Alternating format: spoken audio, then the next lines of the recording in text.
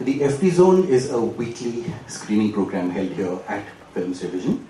We have access to the entire Films Division archive, which consists of over 8,000 films in the celluloid format and several thousands in the video format. Which films which Films Division has made over the close to 70 years of its existence, and films that independent filmmakers have made for Films Division. We usually pair Films Division films along with independent films, and um, yeah, so it's, it's, it's, it's a, a program that's held every Saturday at 4 p.m. It's free and open. And to those of you who are here for the first time, please uh, make a note um, our, and join our mailing list. Give us your mail IDs. We have a Facebook page called the FD Zone, which you can join, and uh, you'll get to know about our weekly programs. There's also, just outside here, um, a center called the Archival Research Center, where there's a master server and a set of terminals where you can access close to 5,500 of the films that Films Division has produced. That's close to two thirds of everything that uh, you know has been produced over the years, which is the largest uh, visual history recorded by the state over the last 70 years, you know, of um, India. So this program is uh, made available to us courtesy of the Goethe Institute, Max Mueller Bhavan, Mumbai. It's a long, um, it's a package of animation films that were made in Germany between the years 1937 and 41. Now, interestingly, this Germany had a tradition of animation film that existed before this um, entire um, uh, production started, at the request of Adolf Hitler to Joseph Goebbels, saying, "Why don't we make? Why don't we have an animation film industry which can compete with or maybe outdo Walt Disney's films?" Because those were popular, those were successful, and those caught the imagination of the public. So the German state set up these studios, and these films are made by different studios, as you'll see at the beginning of each film.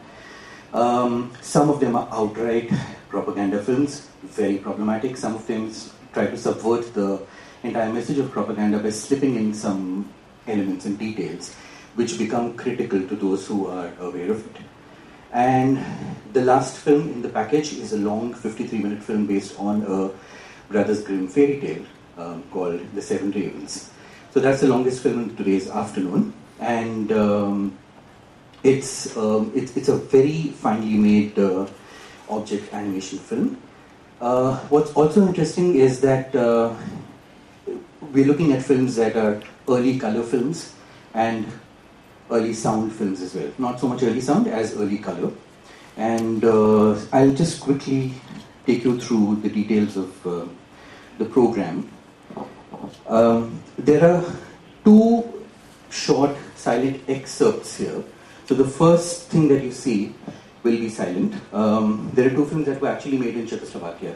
And it seems um, when they were putting this program together, they didn't have the rights of distribution. So they have uh, these two silent excerpts um, that we shall see. Um, the first film after that um, um, is a seven minute film called about the tree that wanted different leaves. And uh, it doesn't get more blatant than that. It's about this tree that wanted different leaves. So it tries glass leaves and it tries golden leaves. And this dirty, evil, greedy Jew comes and steals the golden leaves. So the message there becomes that um, the tree finally grows these thorny quills to repel anybody who comes and steals whatever the tree has. Um, followed by a film called The Troublemaker, where there's this fox that goes and attacks everyone, and there's a, strikes a big terror among all the animals in the forest. And all the animals have to unite against this troublemaker fox. Um, so you'll see in all these films a lot of elements that are very close to Disney in terms of characterization, in terms of movement, in terms of animation technique, and how the an- animals are made to appear cute and endearing when they're doing things that, that might actually be very violent. Um, then this is followed by a film called The Adventures of Baron Munchausen, A Winter's Journey, where you're trying to create a German animation hero, Baron Munchausen, you know, to rival some of the more popular American uh, animation characters. Followed by a film called Poor Hansi, which is which I find really strange. It's about a caged bird that wants to step out and explore the world, and it ends up at the end of the film back in the cage along with a companion. So and uh, among my favorite films in this package is something called A Weathered Melody, where there's this bee that is flitting around this forest and it comes across a discarded gramophone player. And uh, you'll see what the bee does and how uh, it starts playing that gramophone record. And what plays, what the music that plays is um, a piece of swing music, which was something that the Nazi government didn't really approve of. Uh, alongside, and, and you know, it leads to a lot of interactions among other animals. You know, the bee, the music, and the animals that go into this impromptu dance around the music. There's also a woman's garment and belt, which possibly indicates that there was some amount of picnicking and maybe which lead to some, uh, you know, some um, amorous activity. And this thing was discarded, and you know, this music was discarded.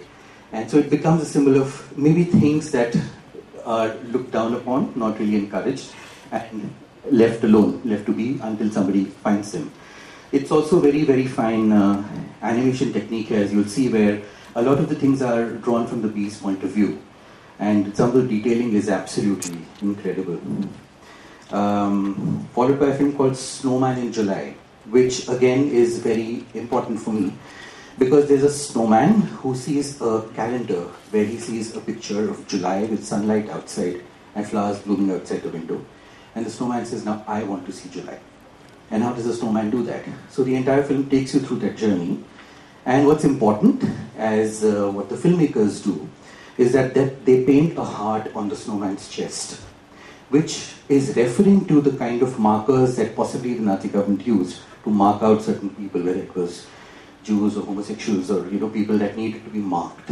And you know, so the snowman becomes such a character. So he sees July, and uh, yeah, you'll see what happens to him. Followed by a film called The Silly Goose, which is again very simple, um, where there's this goose in a family of geese who wants to be flamboyant and wants to dress up and wants to wear makeup and stuff, and uh, goes through a whole string of adventures, finally to end up in completely a straight-jacketed kind of existence.